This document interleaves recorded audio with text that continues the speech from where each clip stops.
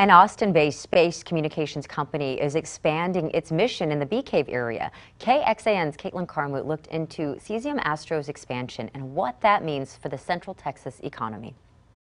In 2017, this space communications company launched out of Bee Cave, Texas. The company uh, started at a coffee shop uh, down the road. Jay Sabripour leads the mission. The company first started as three employees now a sea of 80 scientists, engineers, and programmers have joined, a number Sabripour expects to double by 2022. Facilities in Austin are expanding to 40,000 square feet. So what exactly does CesiumAstro do? We now live in a world that uh, uh, humans and machines are connected. Sabripour says they hold the key to fluid communication.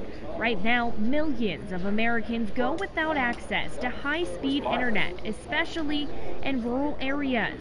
One solution to this problem is connecting people from above through low Earth orbit satellites. This low Earth orbit satellite technology requires a different kind of a communication system. It, it, it requires that both our systems and the ones in space uh, point the beams at each other and track each other. CesiumAstro helps build the pieces to this world connectivity puzzle. Now it's time to pull it all together. Caitlin Carmoot, KXAN News.